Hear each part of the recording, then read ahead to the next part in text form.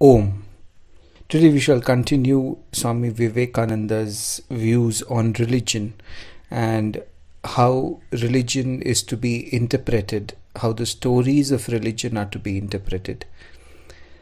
In the last podcast, we were speaking of few ideas that religion presents before us the one idea that religion presents is that there is existence even after the fall of the physical body. There is a continuity of existence in the form of a subtle body.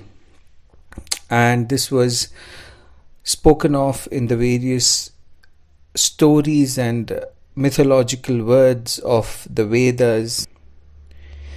The other idea that was presented by Swami Vivekananda is the idea that our present state of existence is a degenerated state of what we actually are.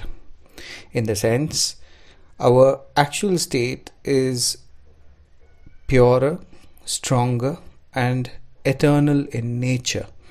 So, religion speaks in terms of ages, while the truth that it presents is that individually we are all working on getting back our real nature, the real nature of supremacy, of glory, of identifying with the infinite rather than identifying with the finite existence. We understand that this uh, taking to religion is because man comes across a situation in life where he has to now find answers. We spoke of the doubt that man could come to, and now we are speaking of the next option that is left, and that is of religion. Now, Swami Vivekananda continues in telling what religion had to say about the solutions that it can give man and how we are to understand it. Vivekananda also says that religion has always tried to speak truths in terms of mythological words, in terms of poetry, in terms of story. And now we come to the next common idea that is available in all religious scriptures of the world. He says here, You're all aware of the story of the deluge in the Old Testament. The same story was current among the ancient Babylonians, the Egyptians, the Chinese, and the Hindus. So, here is the story of the deluge. Deluge is basically a worldwide flood that annihilates creation and then restarts creation in a fresh manner. The Old Testament has the story of Noah, and we are all very well familiar with the story that is presented in the uh, Christian scriptures and in Islam. In Islam, the same character or the same idea of Noah is presented with the name or the word Nuh. I will not go into the details of the stories of Noah each religion has its interpretations, but the story remains pretty much similar. And we can read up about how Noah's story unfolded and how he led man across the deluge and repopulated the earth. Here, Swami Vivekananda speaks of the same story that is available in the Hindu scriptures. Let us see what he says. He continues Manu, a great ancient sage, was praying on the bank of the Ganga when a little minnow came to him for protection. Minnow is a is a small freshwater fish, he continues. And he put that minnow into a pot he had before him.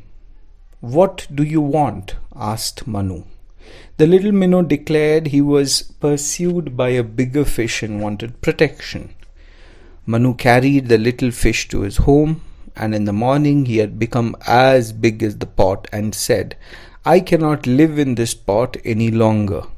Manu put him in a tank and the next day he was as big as the tank and declared he could not live there any more. So Manu had to take him to a river, and in the river the fish filled the river. Then Manu put him in the ocean and declared, Manu, I am the creator of the universe. I have taken this form to come and warn you that I will deluge the world.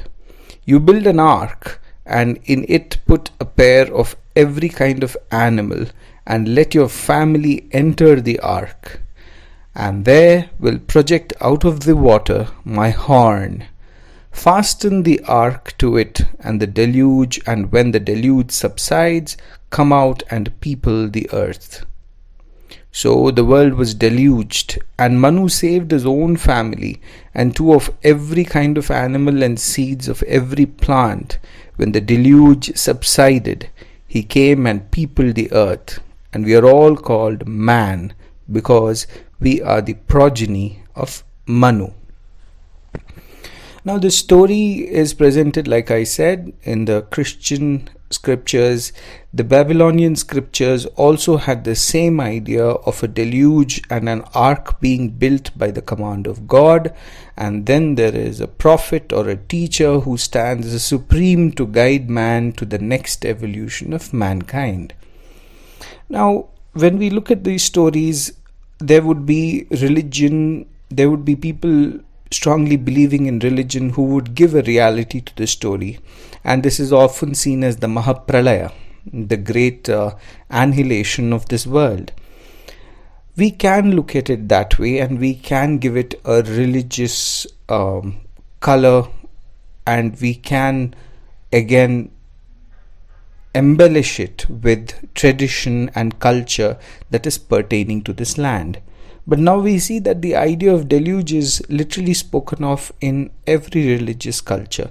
So it would uh, get us thinking how could there be a deluge and how could there be a same pattern in all religious scriptures with the same idea of recreating and repopulating the earth in the wisest and the most glorious way because the idea of the deluge happens when we come across a point where everything is corrupt morally, ethically, man has lost a sense of value and purpose, and therefore creation feels burdened, and the reaction to this burden is a deluge. From that deluge, man reinvents himself and comes back to life. So, this this idea is the basic principle underlying all these stories that are present in all scriptures. Now, how are we to understand it? It is fine to take it as a possibility in history, but it appears very, very difficult to actually absorb. And scientifically, we come across no such evidence of a great deluge in many parts of the land, especially in Middle East or in India. And to assert it in terms of a possibility becomes very difficult. But Swami Vivekananda doesn't go to these details and put up a position where he would have to prove if it is true or not. He takes a very, very subjective stand about it and he says that there is truth in it. In this lecture, Swami Vivekananda does not interpret it, but if we were to just make a sense, because when we are looking through, through religion, we would want to make some sense out of it. Let us make a little bit sense out of what this teaching means.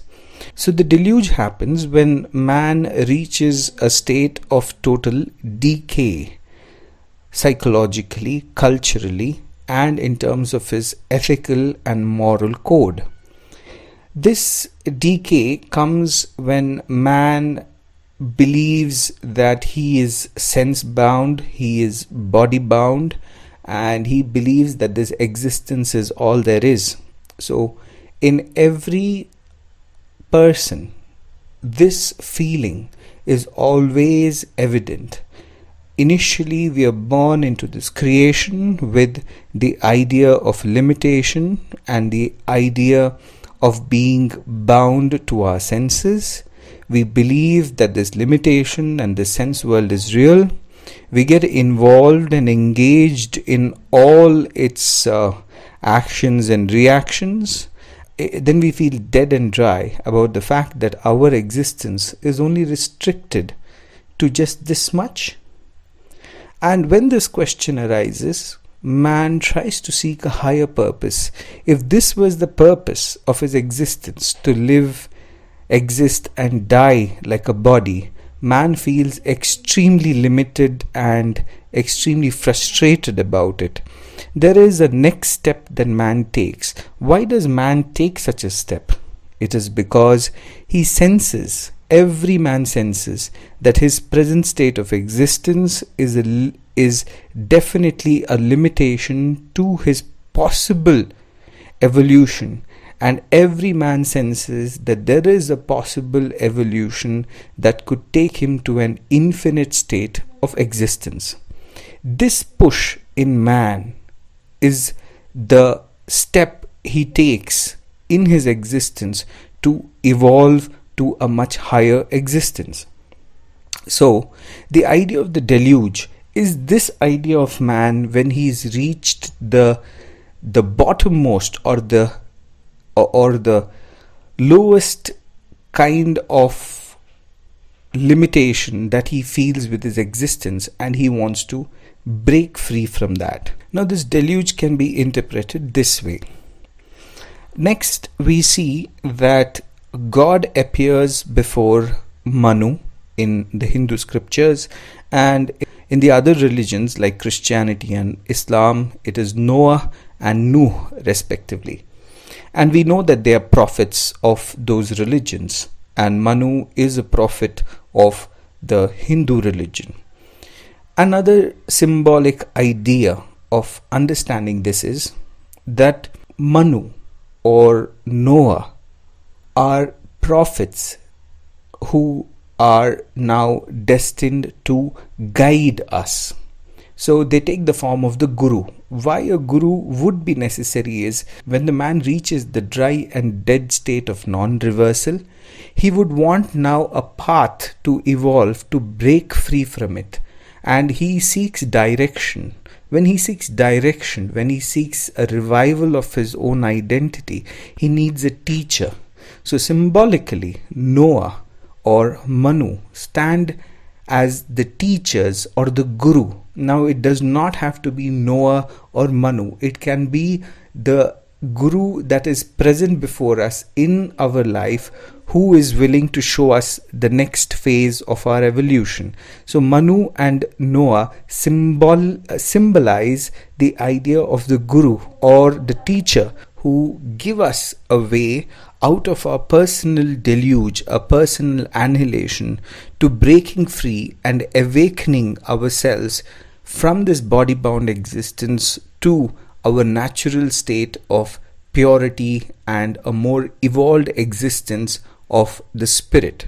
Next, the idea comes of Manu repopulating the earth. Now, here we have to see that when we are now how do we take now here we have to see how it applies subjectively. Now subjectively i understand my evolution. I understand that i am not body bound. I am not mind bound and my state or my natural existence is far superior and far more expansive than my present state of existence. What do i do then? I create a sort of lifestyle. I create ways and means in my life that are far more evolved and far more righteous in nature. We should understand that unrighteousness comes when we believe we are limited. Because when we are limited, we become selfish, and when we are selfish, we have fear, and from fear proceeds all sorts of wrongdoings that generally man is engaged in. So, when he evolves, when an individual evolves by the light of the Guru, he also understands his evolved state, wherein he learns slowly to become fearless and slowly to become more in control of his mind and body.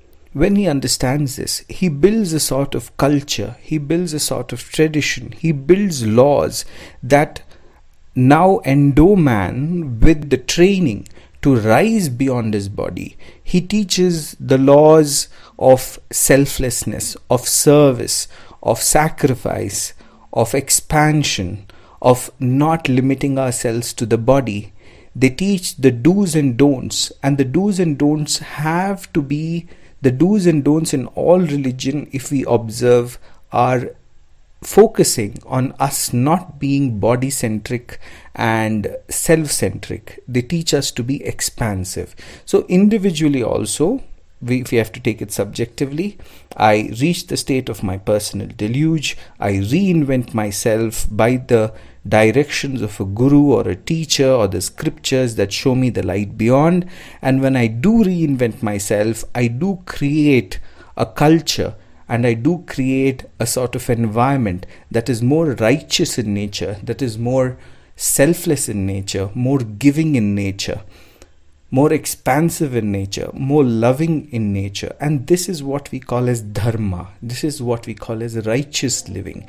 Any living that is centered around the body or centered around the personal ego is unrighteous. This is the idea of Manu re- uh, recreating and repopulating the earth in a fresh vigor, in a fresh sense of uh, virtue and a dharmic way of life. It is to be taken subjectively, first. Second, we should understand that every time there is a rise of a great teacher in the history of civilizations, we see that not just an individual is animated by it, but a whole civilization is animated by it. Now, if we see the present age with the advent of great teachers like Sri Ramakrishna, Swami Vivekananda, Sri Ramana Maharshi, and many other saints and sages, there is a wave of awareness that is spreading around the world which teaches man to rise beyond his present limitations and search for his infinite nature.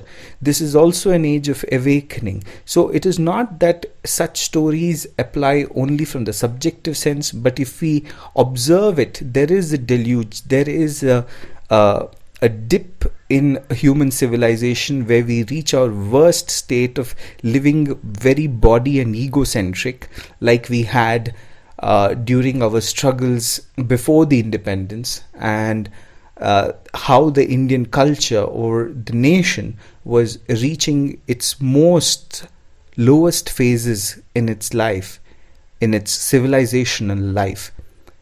And then we see teachers come and present a possibility. Teachers come and inspire a civilization to rise beyond the present state of our existence and show us that a race or a civilization can be animated by a spiritual ideal and that race can move towards a spiritual ideal collectively. It is very true that not all are going to reach there, but each one is going to make his personal effort. And when there is a mass awakening of that sort each one finds its own each one finds his own method and rises above and still makes the march towards the spiritual journey. And when that happens we also see a mass awakening an enlightened nation that marches towards the the higher purpose of life that is a spiritual purpose. So we can see it in both ways. And the truth of these stories are seen even from the historical sense, where individually man does make a change when he reaches that is sub, uh, where both happens from the personal sense an individual makes that change about himself and progresses after he has reached his deluge and then reinvents himself with the new set of laws and moral codes for himself to evolve. But not just an individual we see that historically even there is, there is also a mass awakening and an enlightened state of existence where everybody starts talking about the higher possibilities that is beyond human existence so this story symbolically can be seen as an individual or a subjective change and a civilizational change. We do not have to restrict the idea to a Manu or a Noah, but it does teach that this pattern does happen individually and collectively time and again in the history of this world. So, with this small idea of how we can understand the deluge and how we can interpret it, I will end this podcast. In the next podcast, we shall discuss further on the same idea and how Vivekananda expresses his belief that there are truths in the religious scriptures and their stories, only we should not restrict them to what is mentioned. We should have the creative understanding to see whether it is true and whether it has any bearing in our spiritual growth and it has any bearing in us coming out of this great predicament that we are in, this limited predicament that we are in. Does it show us any light? Does it give us any direction? We have to look at it even in this sense, and then religion, its mythologies, its stories make a lot of sense to us. With this, I end this podcast. Thank you for listening. Thanks.